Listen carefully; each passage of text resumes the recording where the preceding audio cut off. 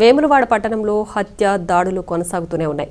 మంగళవారం మరోసారి పట్టణంలో కౌశిక్ రెడ్డి అనే యువకుడిపై స్నేహితులు బ్లేడుతో దాడి చేశారు. వేములవాడ పట్టణంలోని ఓ శుద్ధ జల కేంద్రం వద్ద ఇద్దరు స్నేహితుల మధ్య ముదిరిన వివాదం హత్య దాడికి దారితీసింది. ఈ దాడిలో కౌశిక్ రెడ్డి అనే యువకుడిపై తన స్నేహితులు బ్లేడుతో దాడి చేయడంతో బాధితుడిని స్థానిక ఆసుపత్రికి తరలించారు. పోలీసులు విచారణ చేపడుతున్నారు. వరుస దాడులతో నిఘా పెట్టడం లేదని పోలీసులపై విమర్శలు వస్తున్నాయి.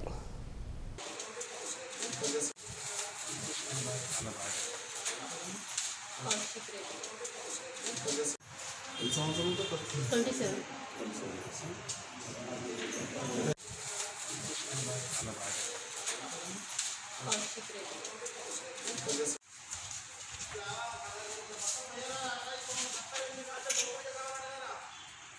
మా ఆయన చెప్పిన అన్నట్టు. నువ్వు వాళ్ళ మధ్యలో కుక్కు వాళ్ళతో నాటబెట్టి. అందరికీ నమస్కారం. నా భర్తది మల్లేశమును అర్జును ఇద్దరు కలిసి నా గొంతు కోసిల్లు నా భర్తది.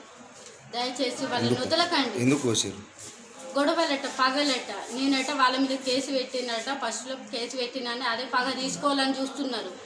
అయితే ప బెదిరించిల్లట నువ్వు మాత్రం మాకు దొరకాలే నువ్వు మాత్రం భూమి మీద ఉండవురా అని కూడా బెదిరించిల్లట సార్.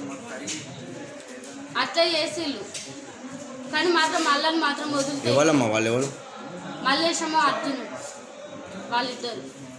గొంతు కోసారు ఆ, అయితే ఫస్ట్ నాకు కాల్ చేసిండండి నాకు కాల్ చేసి ఇట్లా తిడుతున్నారు చేస్తున్నారు అంటే అయితే సరే తీ అని ఫోన్ కట్ చేసి పది నిమిషాలు వెనక ఫోన్ కట్ చేసి మళ్ళీ ఫోన్ చేసి నువ్వు ఫోన్ చేసి ఇట్లా నన్ను చంపుతులే కొడుతులే అంటే నేను ఊరికిన ఫోన్ కట్ చేయగానే ఆయనతో నేను పోయిన పోయినాక మధ్యాహ్నం వాళ్ళ సేట్కు చెప్తే వాళ్ళ సేట్ వచ్చిండు సేట్ వచ్చి ఎక్కించుకొని వచ్చిండు